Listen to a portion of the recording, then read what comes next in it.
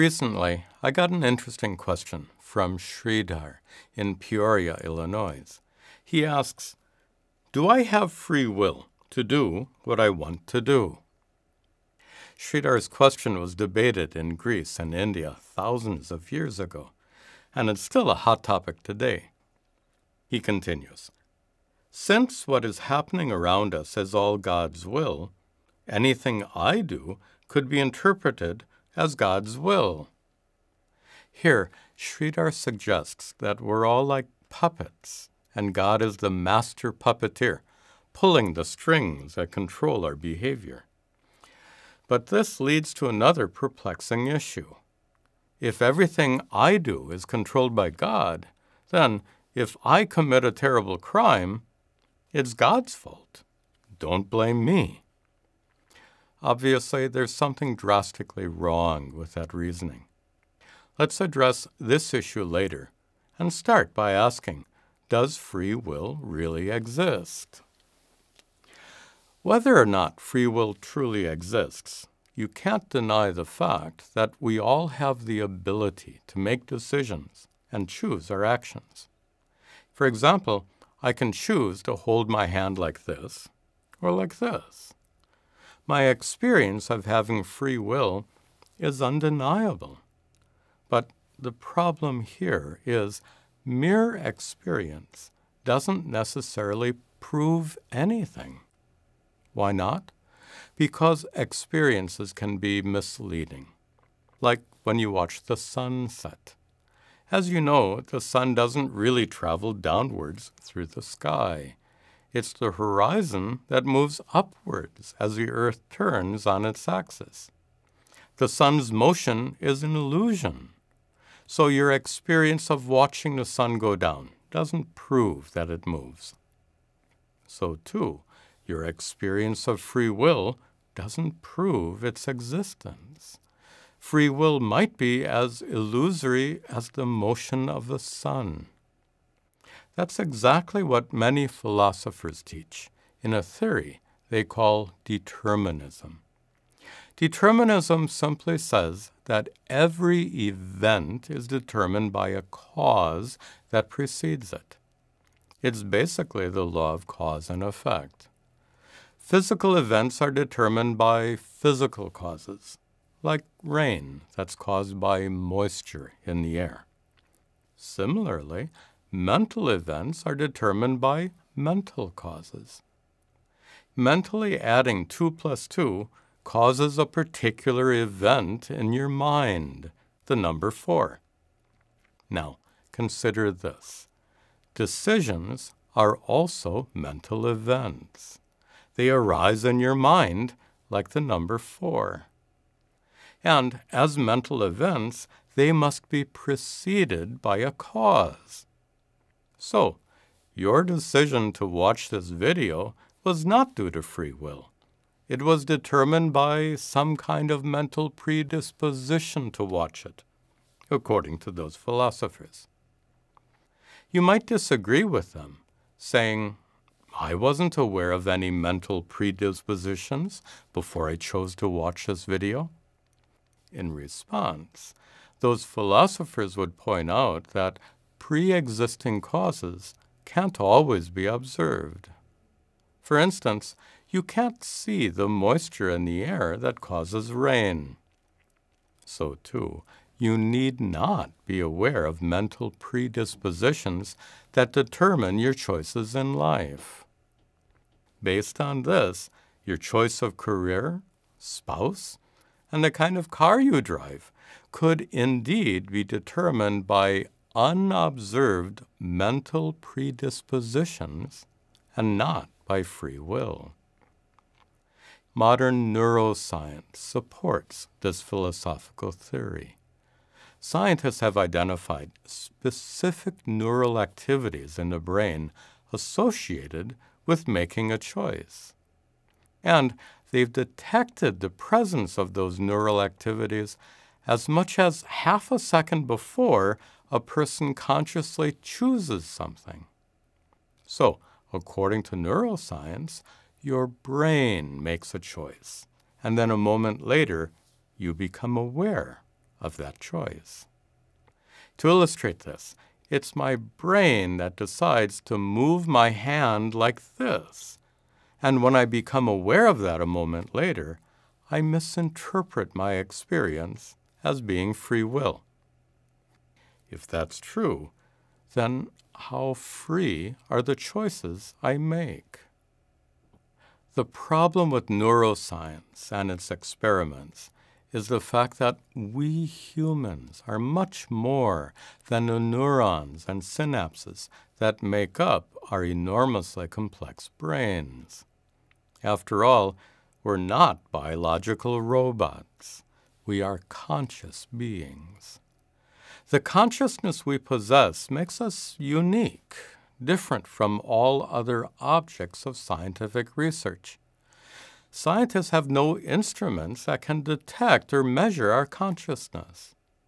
And, in spite of their tremendous efforts, scientists can't even explain how consciousness arises in the brain.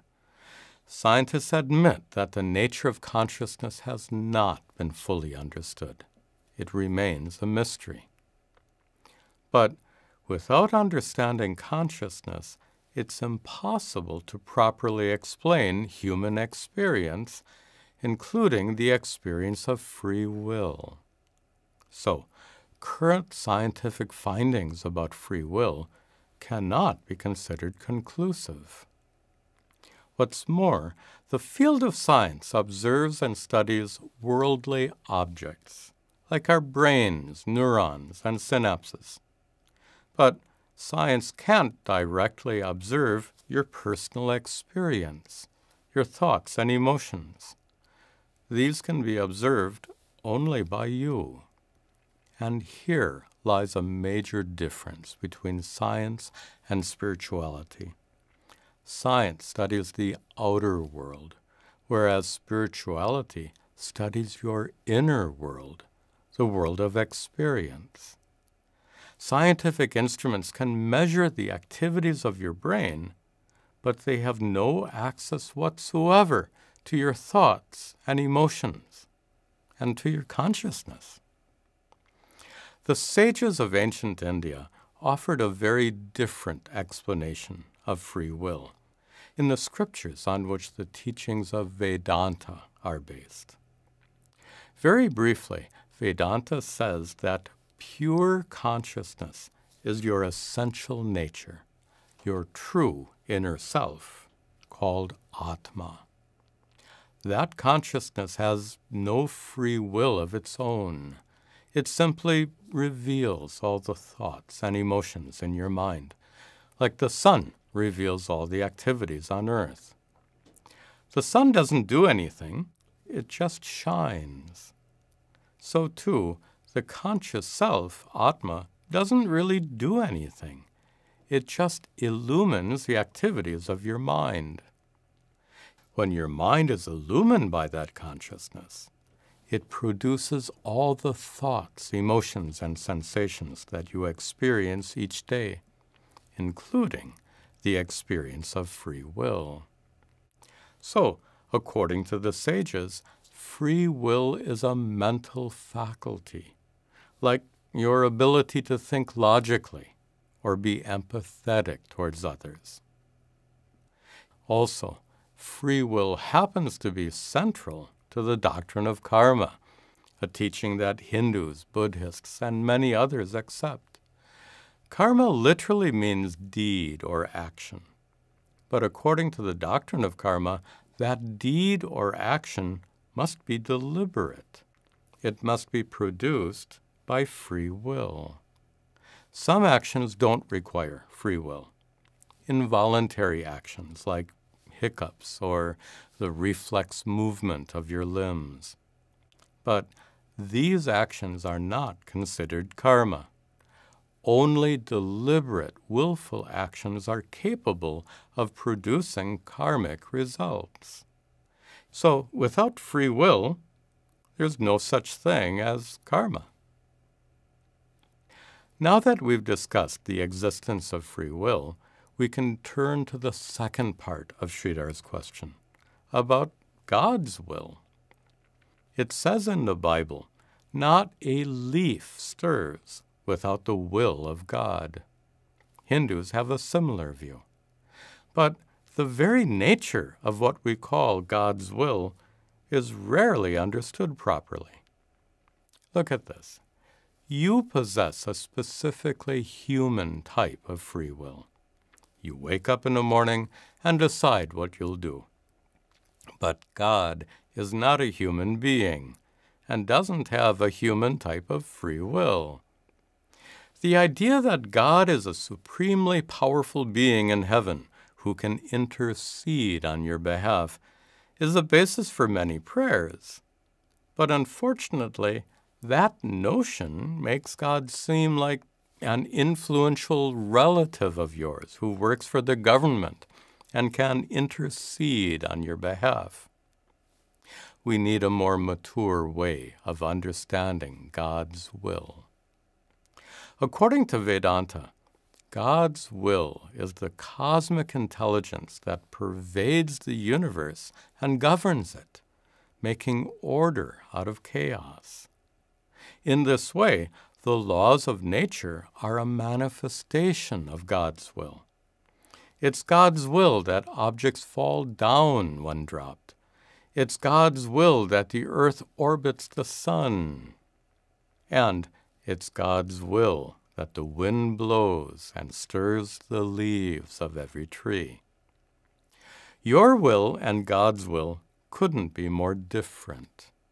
Human will is fickle. You can change your mind at any moment. But what would happen if God's will was fickle? A dropped object might fall upwards or sideways, depending on God's mood at that moment. Clearly, God's will is utterly unlike human will. Now, we can respond to Sridhar's suggestion that we're like puppets since everything happens according to God's will. According to God's intelligence, manifest as the laws of nature, your mind is endowed with the faculty of free will. And since God's will isn't fickle, God won't prevent you from using your free will to commit harmful or immoral deeds. If God interfered with your choices, your will wouldn't truly be free. So, if I were to commit a terrible crime, it's my fault because I chose to use my God given free will to do something horribly wrong. It's important to recognize that your free will is not absolutely free. It has limits. Humans are not almighty like God, so your free will is not invincible. It gets subjugated or overridden whenever intense emotions or desires seize control of your behavior. For instance, if you shout at someone in anger, you don't consciously choose to shout. At that moment, your free will gets temporarily overpowered by anger. But when emotions overpower your free will, who's really in control? You or your emotions? This problem was poignantly expressed in the great epic Mahabharata, when the evil minded Prince Duryodhana said, Janami dharmam nachame pravrittihi. I know what is dharma, righteousness, but I'm not inclined to follow it. Janam yadharmam nachame nivrittihi. I know what is adharma, wickedness, but I can't restrain myself from doing it. Your free will is completely free only when it's no longer subject to being overpowered by intense emotions and desires. Many spiritual practices, including meditation, can help you learn how to manage your emotions and break free from the grip of desires. By using your free will to live a life of Dharma, you can become more self controlled, more emotionally and spiritually mature, and eventually you can approach life's highest goal enlightenment. This is the third in a series of videos that answers questions submitted by viewers. If you have a question that would serve as a good topic for a video like this one, please email me at this address and be sure to indicate video question as the subject of the email. I'll try to address your question in a future video.